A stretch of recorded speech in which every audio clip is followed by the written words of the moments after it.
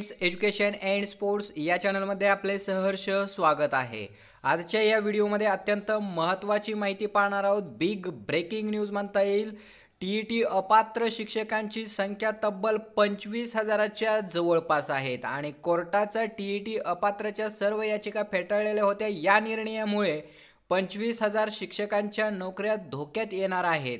T E T उत्तीर्ण व अनुत्तीर्ण उमेदवार आमने सामने आलेले आहेत तर सरकारचे वेट अँड वॉचचे धोरण आहे. नेमकी काय आहे बातमी आणि काय आहे परिस्थिती संपूर्ण माहिती या व्हिडिओमध्ये पाहणार आहोत. त्या अगोदर एज्युकेशन अँड स्पोर्ट्स या चॅनलवरती तुम्ही नवीन असाल आणि अद्याप चॅनलला सबस्क्राईब केलं नसेल तर चॅनलला सबस्क्राईब करून बेल आयकॉन प्रेस करायला विसरू नका.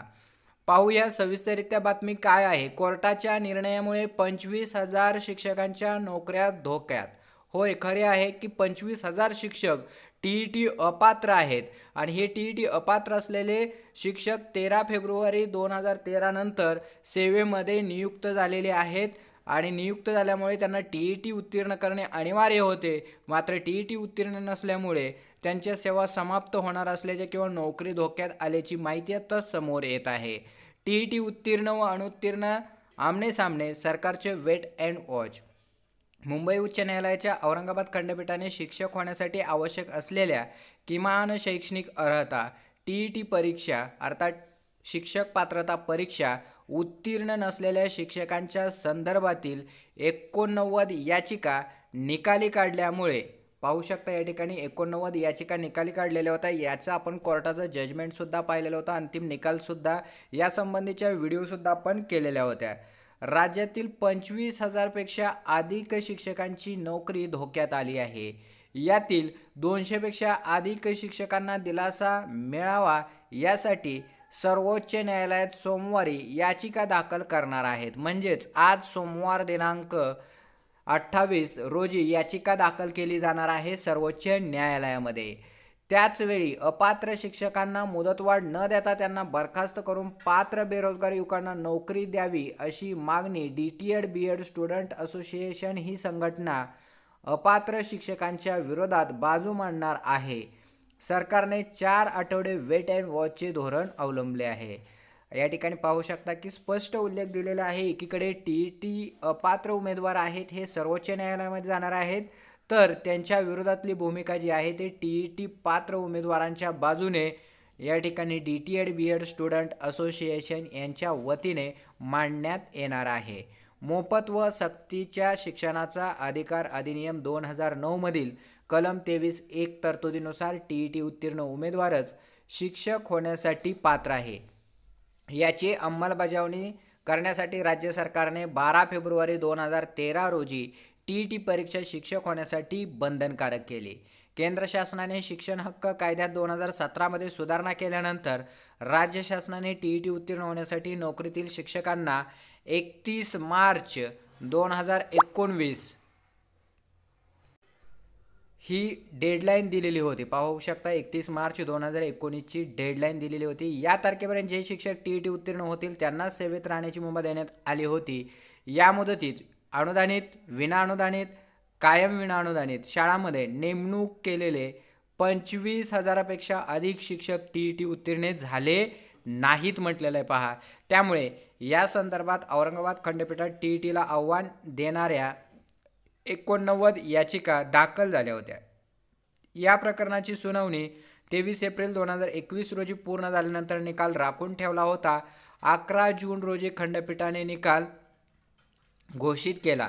यात टी ई टी विरुद्ध याचिका फेटाळल्या आहेत. त्यामुळे टी ई टी उत्तीर्ण नसलेल्या पंचवीस हजारपेक्षा अधिक शिक्षकांच्या नोकऱ्या धोक्यात आल्या आहेत अशी माहितीसुद्धा समोर येत आहेत त्याच पद्धतीनं अणुत्तीर्ण शिक्षकांना मुदतवाढ देण्यावर होता आक्षेप. दोन हजार सोळापर्यंत टी ई टी उत्तीर्ण नसलेल्या अपात्र शिक्षकांच्या विविध संस्थांमध्ये नेमणुका करण्यात येत होत्या. या अपात्र शिक्षकांना टी ई टी उत्तीर्ण होण्यासाठी शासनाने वारंवार मुदतवाढ दिलेली होती.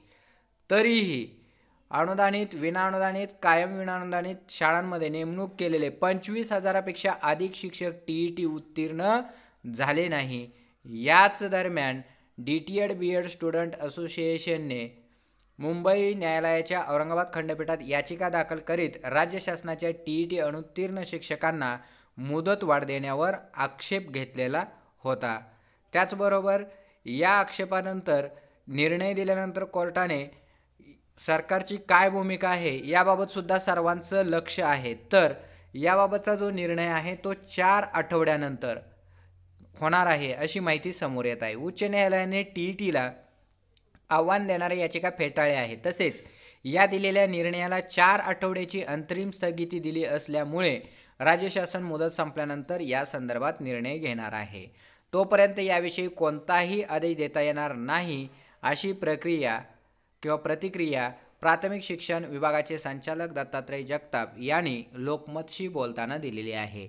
म्हणजेच काय? तर राज्य सरकारची भूमिका यामध्ये महत्त्वाची आहे मित्रांनो. यामध्ये राज्य सरकारने सांगितलेलं आहे की कोर्टाने जो निर्णय दिलेला होता या कोर्टाने दिलेल्या निर्णयामध्ये सांगितलेलं होतं की चार आठवड्यापर्यंत स्थगिती आणि यानंतर तुम्हाला पुढील कार्यवाही करावी लागणार आहे. आता चार आठवडे संपल्यानंतर त्यावरती कार्यवाहीचं शासनाकडून पाऊल उचललं जाईल परंतु सद्यस्थितीत कोणता आदेश देता येणार किंवा हे देता येणार नाही अशी प्रतिक्रिया जर विचारली शिक्षण विभागाचे संचालक दत्तात्रय जगताप यांना तर त्यांनी कोणत्याही प्रकारची प्रतिक्रिया दिलेली नाही. त्यामुळे ठोस असा सद्यस्थितीला शिक्षण विभागाकडून किंवा सरकारकडून कोणत्याही प्रकारची माहिती मिळताना दिसून येत नाही. दोनशेपेक्षा अधिक याचिका. उच्च न्यायालयाने टी ई टीला आव्हान देणाऱ्या आमच्या याचिका फेटाळल्या आहेत. त्यामुळे अनुदान मिळणाऱ्या आठ हजार पाहू शकता अनुदान मिळणारे किती आहेत? आठ हजार आहेत. तर विनाअनुदानित शाळांवर मागील अनेक वर्षापासून काम करणाऱ्या अठरा हजार शिक्षकांच्या नोकऱ्या धोक्यात आल्या आहेत. उच्च न्यायालयाने दिलेल्या निर्णयाला चार आठवड्याची स्थगिती दिली असल्यामुळे या मुदतीत सर्वोच्च न्यायालयात आम्ही दोनशेपेक्षा अधिक जण याचिका दाखल करीत आहोत असं समन्वयक टी ई टी उत्तीर्ण नसलेले शिक्षक यांच्याद्वारे सांगण्यात आलेलं आहे. म्हणजेच काय? तर सर्वोच्च न्यायालयामध्ये जे काही याचिका दाखल करण्यात येणार आहेत या याचिकेमध्ये जवळपास दोनशेपेक्षा अधिक शिक्षक सहभागी होणार आहेत आणि या सहभागी शिक्षकाद्वारे सर्वोच्च न्यायालयात ही याचिका दाखल केली जाणार आहे. आता यावरती D T Ed B Ed student असोसिएशनचं काय मत आहे पाहूया. केंद्र शासनाचाच कायदा. केंद्र शासनाने टी ई टी संदर्भात कायदा केलेला आहे. याविषयी सर्वोच्च न्यायालयाचेही यापूर्वीचे आदेश आहेत. त्यामुळे आमची संघटना पात्रधारकांना न्याय देण्यासाठी सर्वोच्च न्यायालयात बाजू मांडणार आहे. त्यासाठीची तयारी सुरू आहे असंही या ठिकाणी सांगितलेलं आहे. उलट आत्ता आम्हाला सोपे झाले आहे. जे पात्र नव्हते त्यांना नोकरीवर घेतले कसे याविषयी विचारणा आत्ता केली जाईल. तसेच अपात्र शिक्षकांना मान्यता देणाऱ्या शिक्षणाधिकाऱ्यावर गुन्हे दाखल करण्याची मागणी करण्यात येणार आहे. अशी ही माहिती अध्यक्ष Santosh Magar sir D T Ed B Ed student association यांच्या वतीनं करण्यात आलेली आहे. या संपूर्ण बातमीवरून आपल्या लक्षात येतं की राज्यामध्ये पंचवीस हजार शिक्षक जे आहेत हे पंचवीस हजार शिक्षक टी ई टी अपात्र असून सेवेमध्ये सद्यस्थितीला कार्यरत आहेत. यामध्ये अनुदानित पदांवरती आठ हजार तर कायम विनानुदानित किंवा विनानुदानित पदावरती जवळपास सतरा ते अठरा हजार शिक्षक कार्यरत असल्याची माहिती समोर येत आहे. आता यातील दोनशे जणांनी एकत्र येत ही याचिका सर्वोच्च न्यायालयात आव्हान देण्यासाठी दाखल करण्याचे ठरवलेले आहे आणि या दोनशे जणांच्या याचिकेच्या विरोधात D T Ed B Ed student association संघटना आता पुढे सरसावली आहेत. त्यांच्या मते सर्वोच्च न्यायालयात जी याचिका दाखल करण्यात येणार आहे ती फायद्याचीच असणार आहे कारण की जे अपात्र आहेत त्यांना सेवेत घेतलेच कसे? असा प्रश्नसुद्धा विचारता येईल. आणि त्याचबरोबर ज्या शिक्षणाधिकाऱ्यांनी मान्यता दिली यांच्यावरती गुन्हे दाखल करण्याची मागणी करण्यात येईल असं सुद्धा या ठिकाणी समजत आहे. त्यामुळे आत्ता राज्यात एकीकडे टी ई टी उत्तीर्ण आणि दुसरीकडे टी ई टी अनुत्तीर्ण असा संघर्ष आपल्याला पाहावायला मिळत आहे. तुम्हाला काय वाटतं? कमेंट बॉक्समध्ये जरूर कळवायला विसरू नका. टी ई टी उत्तीर्ण आणि अनुत्तीर्ण याबाबत शिक्षक शिक्षकांच्या बाजूने म्हणजेच भावी शिक्षक असतील किंवा सेवेत कार्यरत असतील शिक्षक यांच्या बाबतीत सर्वोच्च न्यायालयात याचिका दाखल केल्यानंतर त्यांचंसुद्धा पूर्ण अपडेट या चॅनलच्या माध्यमातून पाहणार आहोत. ते अपडेट पाहण्यासाठी चॅनलला अद्याप सबस्क्राईब केलं नसेल तर सबस्क्राईब करून बेल आयकॉन प्रेस करायला विसरू नका. या संपूर्ण परिस्थितीबद्दल तुम्हाला काय वाटतं आणि सर्वोच्च न्यायालयाचा निकाल काय अपेक्षित येईल याचाही अंदाज कमेंट बॉक्समध्ये जरूर कळवायला विसरू नका. धन्यवाद.